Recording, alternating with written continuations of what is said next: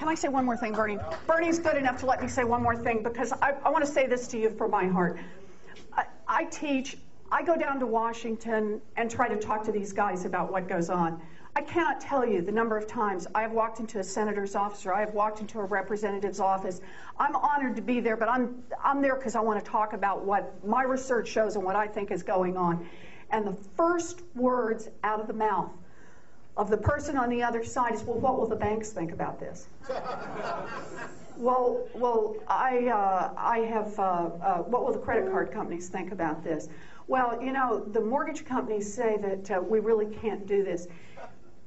It is so meaningful to have someone whose office you can walk into who says, How does this affect the people who live in my state? How does this affect the American people? That's what Bernie Sanders said the first time I walked into his office, and as a result, I keep walking.